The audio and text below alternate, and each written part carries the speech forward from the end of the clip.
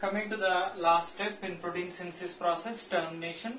Termination is nothing but uh, stopping of protein synthesis. The protein synthesis is stopped, right? See, the protein synthesis stopping process is called as termination, right? Termination is also called, okay, termination of translation. Termination of translation, right? Termination of protein synthesis or termination of translation done by the nonsense codons. Done by the nonsense codons. See, here nonsense codons means which are not codes for amino acid tRNA. That is nothing but which are not codes for tRNA. Which are not codes for the tRNA means which are not codes for amino acids. Which are not codes for the amino acids. Which are codes for the releasing factors. Which are codes for the releasing factors. See, within prokaryotic cells, there is in three nonsense codons are there. Three nonsense codons are there. We know about the genetic code. Within genetic code, totally 64 codons are there. Within 64 codons, there is in 61 codons are sense codons and 3 codons are non-sense codons, right? 61 codons codes for amino acids and 3 codons are, okay, not codes for the amino acids, which are codes for the releasing factors, which are codes for the releasing factors. So, these three nonsense codons codes for releasing factors, RF1, releasing factor 1, releasing factor 2 and releasing factor 3. These are the releasing factors. These are the releasing factors. So, these are coded by nonsense codons. These are coded by nonsense codons. Generally, sense codons are codes for tRNA. Right? See, here nonsense codons are, nonsense codons are codes for releasing factors. These are the nonsense codons. Okay, which stops the protein synthesis. How the stopping done by the nonsense codons. The stopping done by the, okay, releasing factors. Releasing factors. Releasing factors are coded by the nonsense codons, right? UAA, UAG and UGA. These are the nonsense codons which codes for the releasing factors. Which codes for the releasing factors, right? So when A site, this is the A site. This is the A site. When A site opposite to stop codon.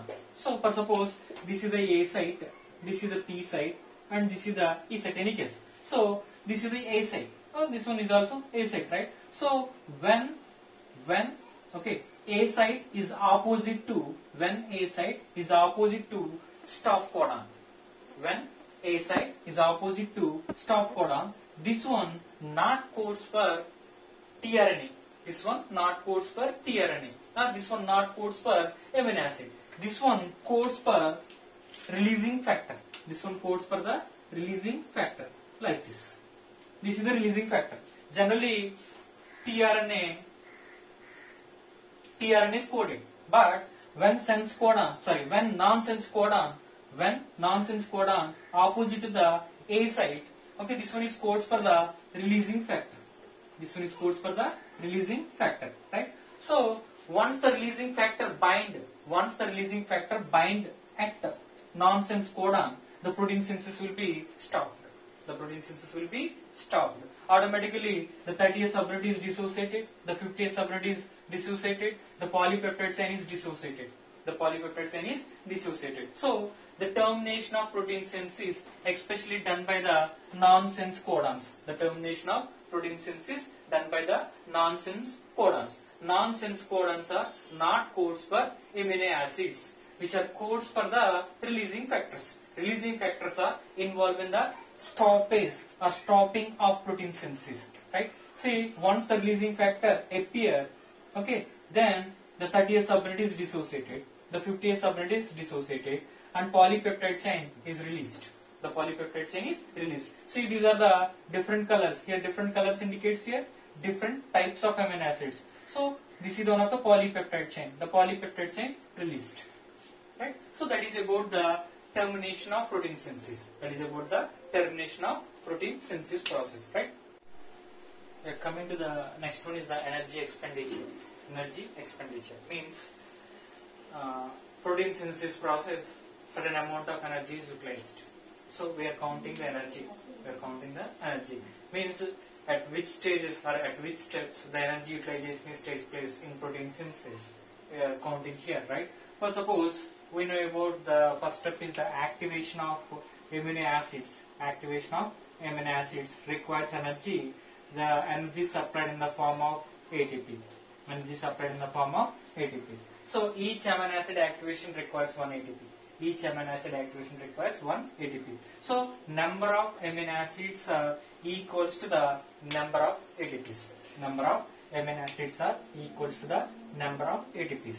For suppose in a protein, in a protein, okay, polypeptide chain is there. The polypeptide chain contains 50 amino acids, right? The utilized ATP number is 50 ATPs. So here 50 amino acids are there, 50 ATPs are utilized, right? And codon recognition. The next step is codon recognition process. Each codon recognition, each codon recognition, one GTP is required. Remember, this is ATP and this is GTP, right? That is about the second step. And next one is the translocation, movement of MR, yeah, movement of ribosome on mRNA, movement of ribosome on mRNA. So the each translocation, each step of translocation, right, requires one GTP molecule, one GTP molecule. That's nothing but one codon, one translocation, one GTP, one codon, one translocation, one GTP. Number of codons, okay, number of codons are there, number of translocations are there, and number of GTP molecules, number of GTP molecules, right? Here translocation, translocation, here equals to the number of translocations are equals to the number of peptide bonds, number of peptide bonds. Number of peptide bonds are equals to the number of water molecules. We know during peptide bond formation, one water molecule is released. The same manner, number of translocations, means each step of the translocation, right, equals to the number of peptide bonds, and number of peptide bonds are okay equals to the number of water molecules. Okay, we know about this concept. The during peptide bond formation, water molecules are released, and counting total number of codons. Counting. If for suppose this is the this is the one of the mRNA sequence. This is one of the mRNA sequence. That mRNA, okay, one of the question is given like this. One of the mRNA sequence is there. That mRNA synthesizes protein. The protein contains the 30 amino acids. The protein contains the 30 amino acids. How many codons are present in that mRNA? How many codons are used for the synthesis of that protein? The question is very simple. This is one protein. The protein, the protein contains 30 amino acids. How many codons are responsible for this protein synthesis? How many codons are responsible for that protein synthesis? See, here the total codons counting is n plus 1. n plus 1. n is indicates here sense codons. n is indicates here sense codons. 1 is indicates here non-sense codon. 1 is indicates here non-sense codon. Okay, here 30 amino acids. 30 indicates here, I already said here n plus 1, right? 30 indicates here, n is indicates 30. 30 plus 1. 30 plus 1. 1 is here nonsense codon. 1 is here nonsense codon. 30 is here sense codons. 30 is here sense codons. Total number of codons to code for the that protein, especially the protein contains the 30 amino acid. Total codons are required here. 31 codons are required. 31 codons are required. That is about the total codons, right? And next one, total number of nucleotides. Total number of nucleotides. See, we know about the codon. This is the one of the codon. Codon is always triplet. Codon is always triplet. For suppose AUG is codon. Any codon is triplet, right? See, here counting for the nucleotides. Counting for the nucleotides. For suppose this is the one of the mRNA. This is the one of the mRNA, right? The mRNA codes for 60 amino acids. The mRNA codes for the 60 amino acids. How many number of nucleotides are present? How many number of nucleotides are present? See, generally we know about uh, the codons counting. The codons counting is n plus 1. Then each codon is triplet. So 3 into n plus 1. 3 into n plus 1, right? So this is about the counting formula for, this is about the counting formula for the total number of nucleotides. I said here 60 amino acids. 60 amino acids. 60 plus 1. Total number of codons here 61. Total number of codons are here 61. So these are the codons. 3. 3 into 61. Here total number of nucleotides are 3 and 18. So the total number of nucleotides are here 183. Total number of nucleotides are here 183. So that is about uh, the energy expenditure and some of the formulas to count codons and to count the nucleotides. Right? That is about the protein synthesis process. Coming to the last topic is the inhibitors of the protein synthesis. Inhibitors of the protein synthesis. See some of the chemical compounds which have the capacity to inhibit proteins synthesis. To inhibit protein synthesis. So these are called as inhibitors. Right? One of the example is the tetracycline. The tetracycline binds to the 30S subunit of the ribosome. 30S subunit of the ribosome and prevents the binding of acid tRNA. Prevents the binding of acid tRNA. Simple. This is the one of the mRNA structure. This is one of the 30S subunit.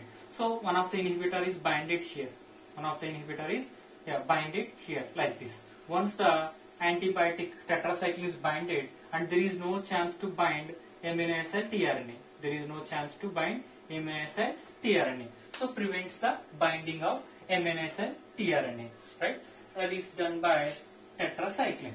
Tetracycline prevents the binding of acid tRNA. Right? Then tetracycline binded 30 subunit of the ribosome and gentamicin and streptomycin. Gentamicin and the streptomycin. These two are binds to 30S and 50S subunits of the ribosomes.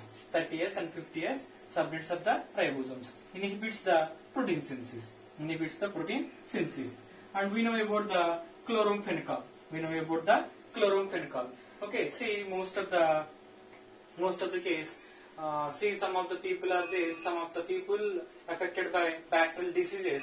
In that case, okay, doctors are given prescription. That prescription contains the chloramphenicol, especially the chloramphenicol inhibits the peptidyl transferase enzyme. Inhibits the peptidyl transferase enzyme, right? And next one is the erythromycin. Next one is the erythromycin. Erythromycin binds to 50S subunit. 50S subunit and prevents the translocation of ribosomes. Prevents the translocation of ribosomes. Right? These are the different types of antibiotics. These are antibiotics. Why these are antibiotics means, see, we discussed about the bacterial translation process. That is nothing but bacteria protein synthesis. See, if the this is one of the bacteria cell, within bacteria cell, protein synthesis is blocked, the bacteria will be dead the bacteria will be dead. But suppose any person infected with the bacteria or any bacterial disease, okay, any bacterial disease present within the human body, that time doctors are suggesting these antibiotics. If these antibiotics are enter into the disease person body, right, and these antibiotics blocks the bacterial protein synthesis process. These antibiotics are blocks the bacteria protein synthesis process. Once the bacteria protein synthesis is blocked, the bacteria will be died. The bacteria will be died. If the bacteria died, the disease will be cured. The disease will be cured, right? So that is about the inhibitors of protein synthesis. Inhibitors of the protein synthesis, right? In the next class, we will discuss about the uh, gene expression process. Gene expression process, right?